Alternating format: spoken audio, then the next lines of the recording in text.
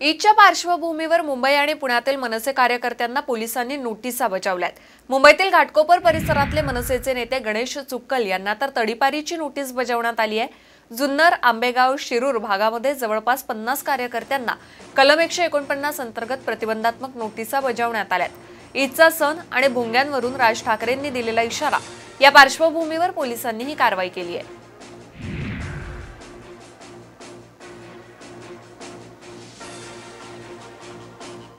आणखी एक महत्वाची बातमी आहे खासदार नवनीत राणा आणि आमदार रवी राणा यांच्या अडचणींमध्ये आणखी भर पडली आहे.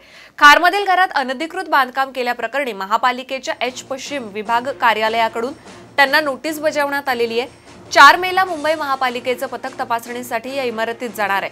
घरांमध्ये अनधिकृत बांधकाम करण्यात आल्याच्या तक्रारी पालिकेकडे आल्यामुळे ही नोटीस बजावण्यात आली आहे.